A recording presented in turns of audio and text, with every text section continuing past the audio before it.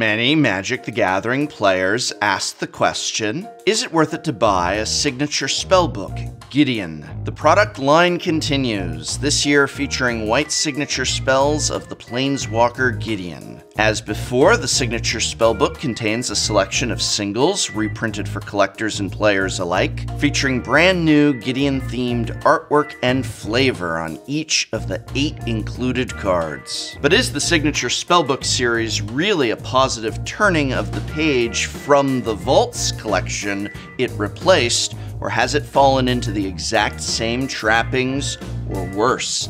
Let's take a look. Signature Spellbook Gideon contains the following eight cards from throughout Magic's history, seven of them white and one of them an artifact, each in a special frame and featuring artwork of Gideon Jura. These cards are non foil. However, each Gideon booster pack, and as you can see, these are literally Gideon booster packs, will also contain one additional copy of one of these eight cards in a premium foil. It's totally random which foil you get, and you still get all eight of the collection in regular, non foil cards. So, nine cards total, one of which is a random foil copy of one of the other eight, all featuring Gideon artwork depicting either crucial moments from his life and journeys or depictions simply evocative of who the character was and what he stood for.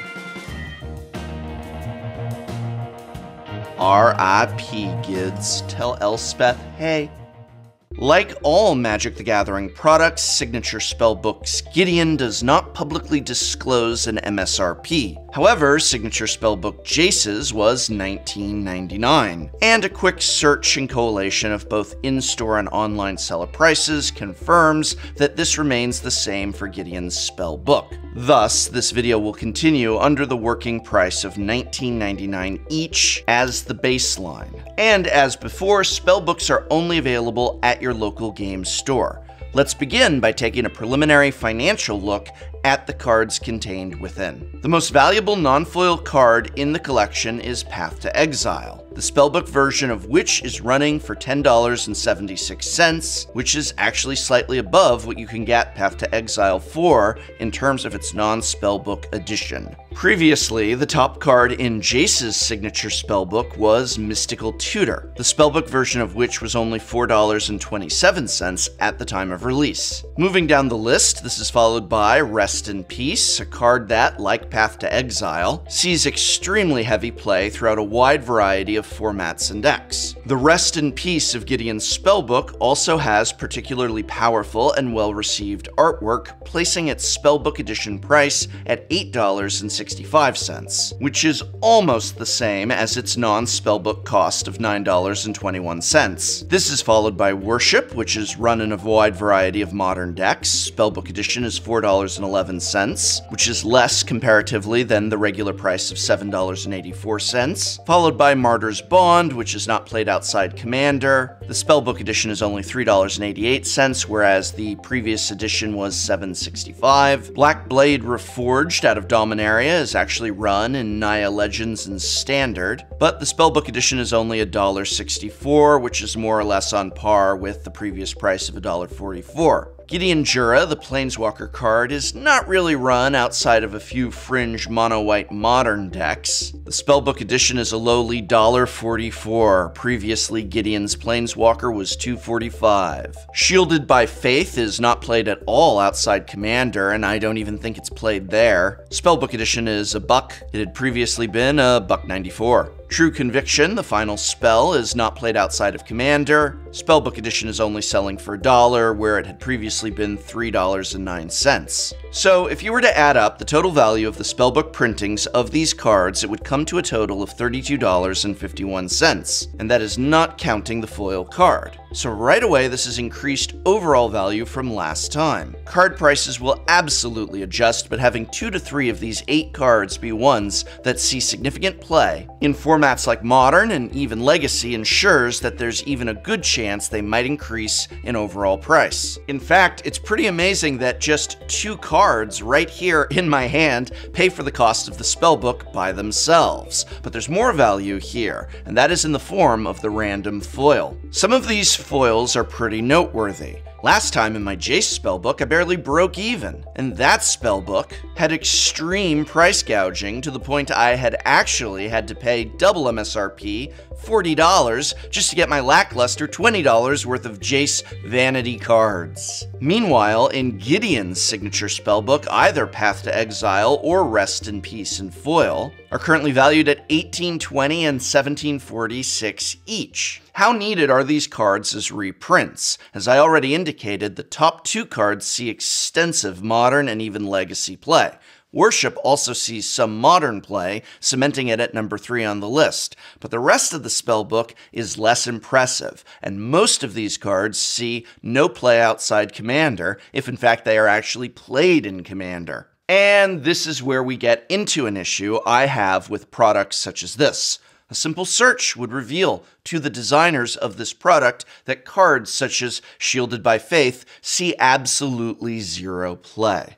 I understand that if you increase the value of the included reprints too high, that price gouging becomes a thing. But there's cards of next to no value that do see play. Look at commons that are used in formats like, well, Pauper, of course, but also modern. Be it something like Seeker of the Way, Thraben Inspector, Ray of Revelation, and on and on. These cards are only about 20 cents each, some 50 cents each. They're lower than Shielded by Faith, but they are actually played and might be a better choice. I'd really have liked to see low end cards in this product that are being used in formats like Modern and Pauper.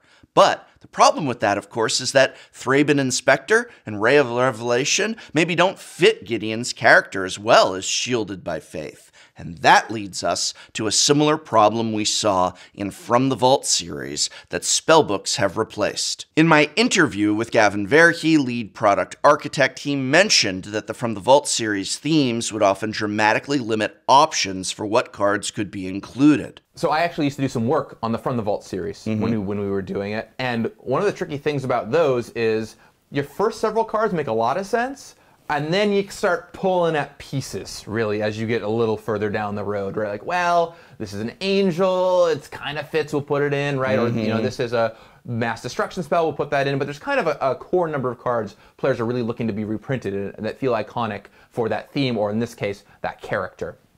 So I would rather keep it a tight, well-fitting, exciting batch and put it at that $20 price point than try and go too large and, and have stuff that, stuff that doesn't really okay. feel on theme. You know, if, if you took a from the vault and just cut out the five cards that people were less excited about, I would rather have had that product. Unfortunately, I fear the same thing is happening here. Only instead of being forced to find a 10th angel, the product's designer is being forced to only include white spells that are connected to Gideon's character. This right away eliminates what could have been awesome 20 cent, 50 cent, dollar played white cards. Cards like Kor Skyfisher, Seeker of the Way, as I mentioned previously, and the list can go on and on. We've just gone from one restriction and replaced it with another. Now, don't get me wrong, I really like signature spellbooks. If you recall, I even praised the Jace spellbook, and that one was less significant in value than Gideon's. Gideon's is a big improvement. But I still think it's fair to point out this problem inherent in signature spells, limited to Gideon's character, which immediately prevent the vast majority of white spells from being included. In fact, I feel that these selections are even turning away from the idea of a spell book, a wizard's collection of spells, and they're beginning to be more like a storybook. Look at the cards selected. They are pages from Gideon's life, and thus incredibly restrictive in their inclusions. But there's an easy solution moving forward, and for that solution, we need only look at Rest in Peace. Rest in Peace is how all inclusions should be. This is a heavily played white spell, one of the two most valuable and in demand of the product, and in a way, it had nothing to do with Gideon. The artwork and the flavor text were changed to be reflective of Gideon, in this case, his recent death in the storyline. And as a result, a card that otherwise had nothing really to do with Gideon became a special reprint that was powerfully, and if I might be so bold, masterfully tied to the character. Another card that is really being creative and special with its use of artwork is Black Blade Reforged. Now, the Gideon spellbook, as with the Jace spellbook, has the problem that if you're not into the character of Gideon, then all of these vanity depictions of Gideon, Gideon, Gideon, or previously Jace, Jace, Jace on all the cards is maybe not going to be appealing to you. Rest in peace really leaned into that idea of a Gideon Vanity spell, but Blackblade Reforged really leans into the idea of a card from Magic's history. The reason Blackblade Reforged is such an exceptional card to me is the way in which they use it to call back to the legendary Dakkon Blackblade from Legends. Artist Richard Kane Ferguson, the first artist who illustrated that card over two decades ago, was commissioned now to reimagine the artwork of Blackblade Reforged.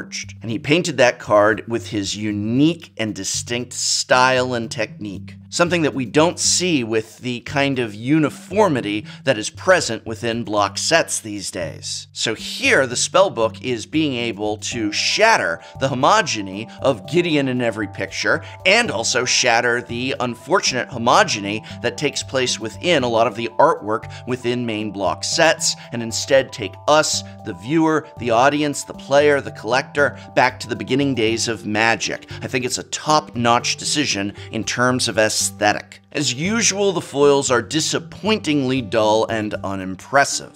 Don't have much to say on this. From the Vault suffered from foil frustrations as well, and I think it is disappointing that one of the standout features of spellbooks is that premium features, such as foiling, are not utilized on the cards, therefore making them more desirable to most players. There's still room to grow with spellbooks. Now, out of the two that have been released, ignoring overall product grade, I would say that Signature Spellbook Gideon is a market improvement improvement over Signature Spellbook Jace. Final conclusion Signature Spellbooks Gideon was strong financial value and reprints of cards that see heavy play, but both these factors are limited to the top three cards of the collection leaving five cards of significantly diminished returns. Nonetheless, this currently remains one of the few means to get needed reprints for both collectors and players. And the Signature Spellbook, while not an excellent product yet, remains very good and very welcome. The artwork as before is heavily saturated with Gideon, the brightest exception being Richard Kane Ferguson's commissioned artwork of Black Blade.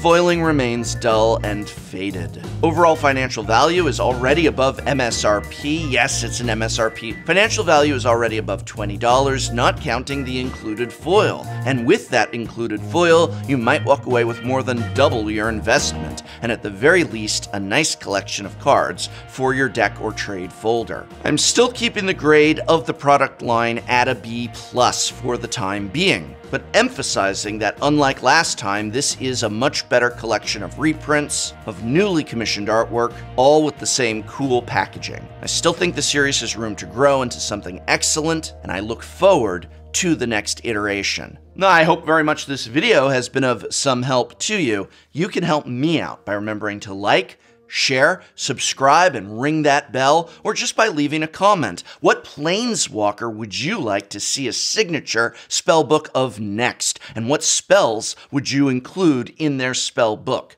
Let me know in the comments below. And remember, whether you're buying a signature spellbook, oh wait, you can't buy a signature spellbook at Target or Walmart. But if you are shopping for Magic the Gathering supplies that can be found there, when it is possible, if it is reasonable to do so, try and spend that money instead at your local game store. You're supporting your Magic the Gathering community. And this program was made possible thanks to a sponsorship from Card Kingdom, as well as the Patreon support of viewers such as you. So thank you.